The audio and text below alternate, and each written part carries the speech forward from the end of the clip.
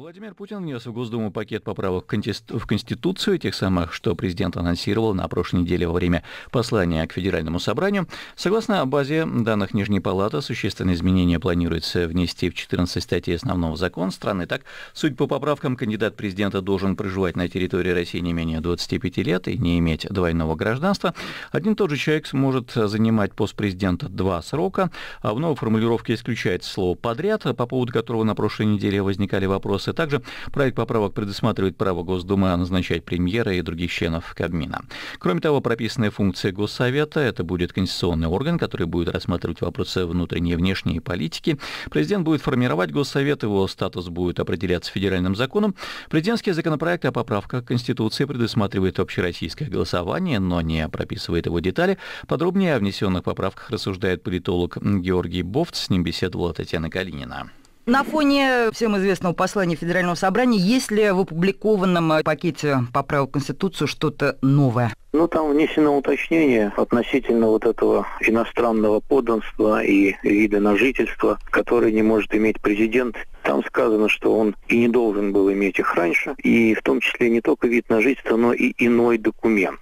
Это, в принципе, может быть долгосрочная виза. Например, учебная виза, по которой можно проживать постоянно в том или ином государстве. Но вот, например, если бы сейчас Владимир Путин баллотировался бы на основании этой поправки в президенты, то его бы нельзя было избрать, что он работал в иностранном государстве, Германской Демократической Республики, и постоянно там проживал. Наверное, у него был там вид на жительство. Сергей Иванов вот не мог бы быть тоже президентом России, потому что он работал за границей в Швеции, по-моему. В то же время исправлена очень такая досадная оплошность, которая, может быть, ее и не было. Значит, в принципе, граждане государств, которые присоединены к Российской Федерации, они не считаются имевшими иностранное гражданство, они имеют такие же права, как и все остальные граждане России. Ну, например, вот если ЛНР и ДНР не присоединят к российскому государству, да, то предоставленное гражданство этим жителям э, самопровозглашенных республик, оно будет лишать их права стать президентами России, например. Вот Поклонская может быть, например, а какой-нибудь Пушилин не, не может быть.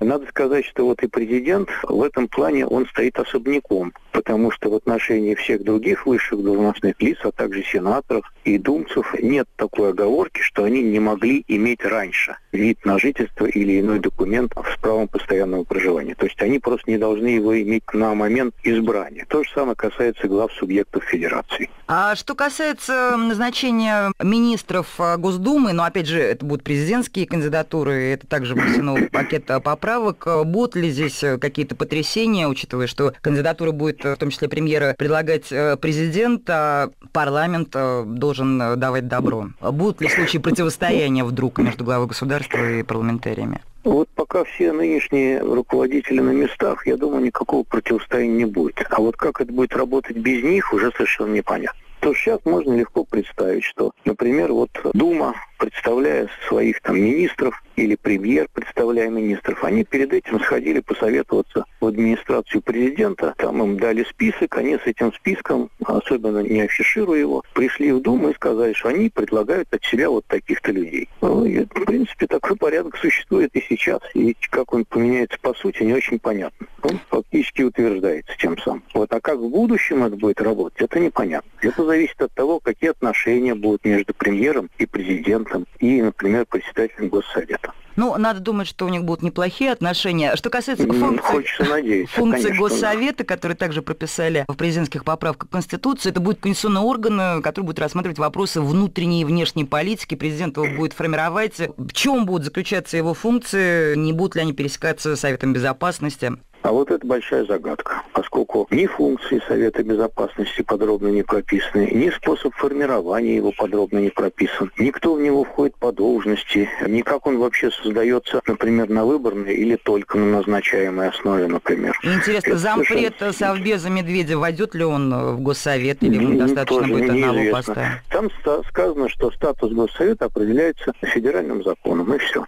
Ну вот будем ждать федерального закона, и тогда все прояснится. Потому что сейчас это такой большой, видимо, жирный кот в мешке. Ну да, много еще неизвестно, в частности, по поводу общероссийского голосования. Оно должно быть э, после утверждения поправок э, федеральным собранием, но когда Почему? это произойдет? Со, со всероссийским голосованием как раз все понятно.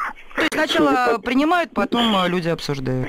Судя по, по, по темпам, которые взяты, наше с вами предположение, сделанное 15 января, о том, что голосование лучше проводить весной, услышано. Оно пройдет вот я на 99% теперь уверен, до что 1 мая. Весной. весной. Ну, лучше, конечно, стоять Были на, сообщения, что до 1 э, мая проведут его, на, да. на параде э, юбилейном, конечно, стоять уже с принятыми поправками. И, конечно же, очевидно уже стало тоже, что подозревали, что все эти поправки будут приняты одним пакетом. То есть э, это единый закон на 30 страницах, и он будет вынесен на голосование, и по поводу него можно будет сказать только да или нет. Значит, и там в одном пакете и индексация пенсий, и госсовет там же, который будет там прописан в федеральном законе. И все эти поправки, они одним пунктом вносятся на голосование.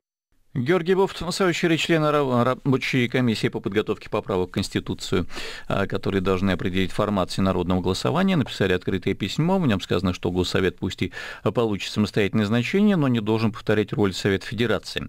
А Госдума рассмотрит документ в первом чтении в четверг, 23 января, сообщил первый вице-спикер Госдумы Иван Мельников.